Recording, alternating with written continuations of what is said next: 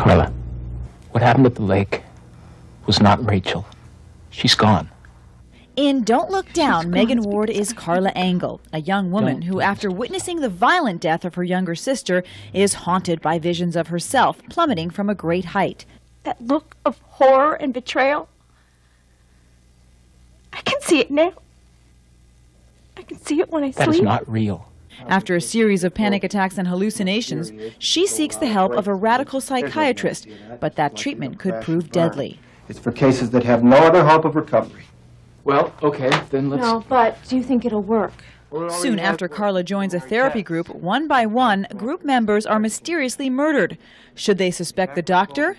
So it's me against the boogeyman. I've Been afraid of that my whole life.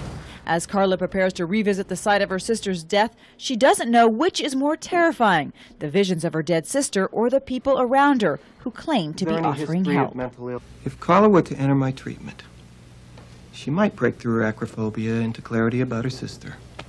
Or she might break through to something far more devastating.